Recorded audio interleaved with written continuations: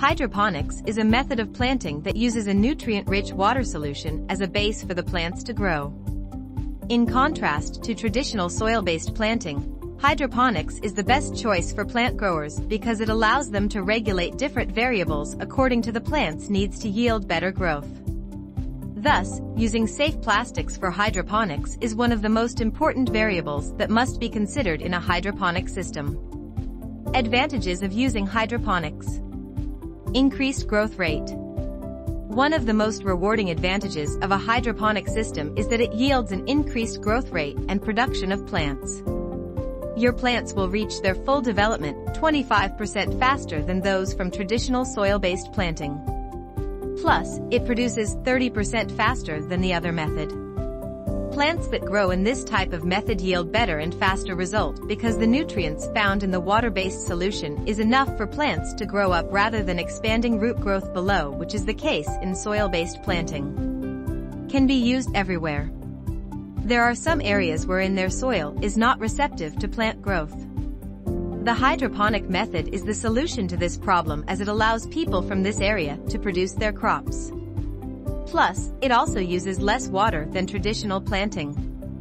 Less pesticide use. The hydroponic method uses a nutrient-rich water solution that eradicates the need for pesticide use. Consequently, this method is environment-friendly and makes the crop safer to eat for consumers. Disadvantages of using hydroponics. Costs more. The hydroponics system will definitely cost more than soil-based planting. This is because it needs a handful of materials. An example is a growing medium, a nutrient-rich water solution, and pumps that add oxygen for the roots and pump nutrients to the grow tray. Time-consuming. If you plan to have a large-scale system, usually it takes a lot of time just for the setup alone. In addition, if you are not well-versed in the field, then for sure managing the system will consume your time. The pH levels of the water solution must also be monitored on a day-to-day basis, for it measures the level of acidity or alkalinity which is essential for plant growth. Great risks. The hydroponic system risks killing your plants if a simple pump failure will not be remedied immediately. This is because the growing medium relies solely on the pumps for their nutrients. There really are advantages and disadvantages involved. Parts of a hydroponic system Number 1 Nutrient Solution, one of the most important parts of the system. This solution is easily available in garden shops online and offline.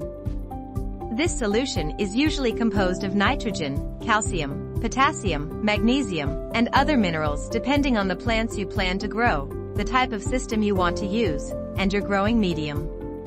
Number 2 Growing medium may or may not be present in a hydroponic system. You can choose rock wool, sand, clay, white gravel, vermiculite, and perlite. Gravel, clay, and sand are cheap and easily available, but they are heavy and don't yield good water circulation as the expensive perlite and vermiculite. Rock wool is the most preferred choice because it's the most affordable yet drains easily.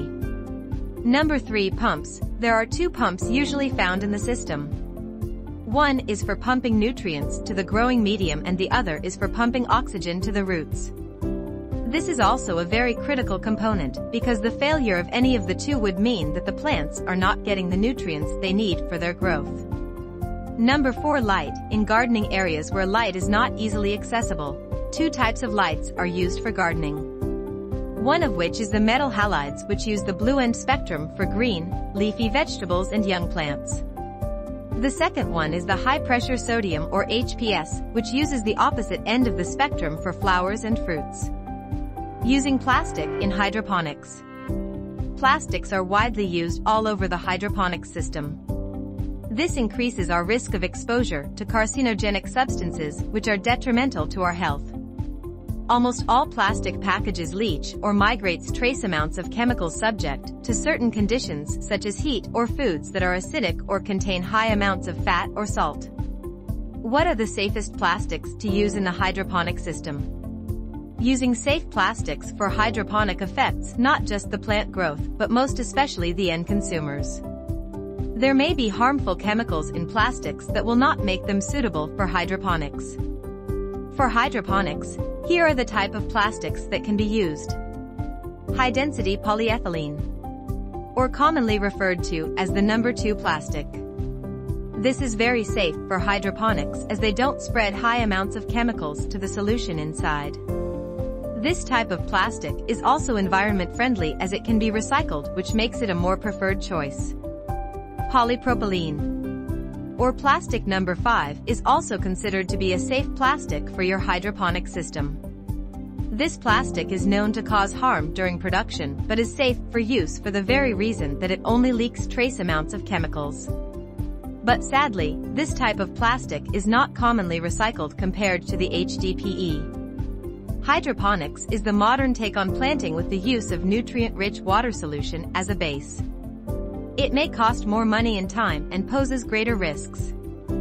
Still, hydroponics is usually preferred because, with appropriate and proper maintenance, it can produce more outcomes at the soonest possible time.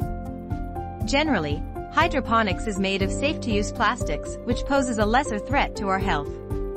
If you like this video, don't forget to like and subscribe.